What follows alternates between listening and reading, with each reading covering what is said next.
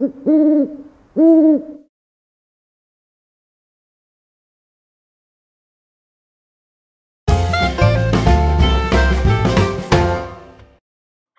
we went out to make a big comparison of uh, thermal clip-ons and this film is a short version of the one that I published in German a couple of days or weeks rather ago. Um, we created a setup which should hopefully make the different devices comparable. Um, we chose a bow target uh, as, uh, well, a target to show you and then we compared the devices all under the same conditions with different magnifications as you can see here without a device on and now let's look at the devices.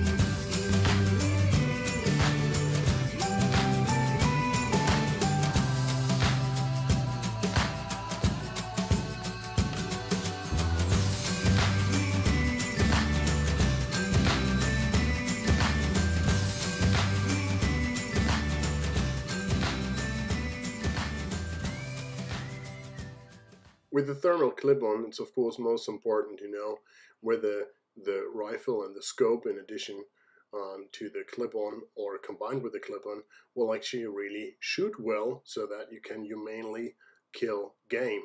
Um, for this purpose, we took a rifle, we made a test shot um, without a thermal clip-on attached to the scope, and you can see here that the performance is quite good.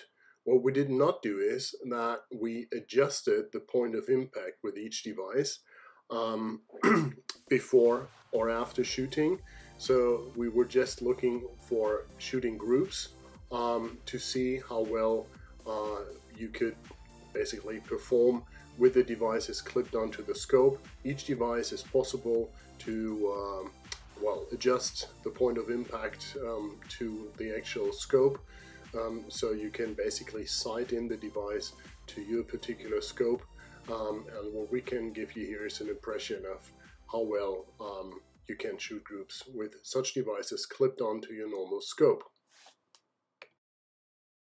So what we could show you is that all devices perform well on 100 meters distance.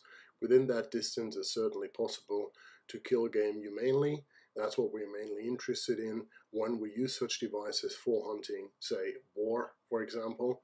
Um, and yeah, which device you choose is a question of your budget and your personal preferences. So go out, take a look at the devices, check what you like best, and make a decision.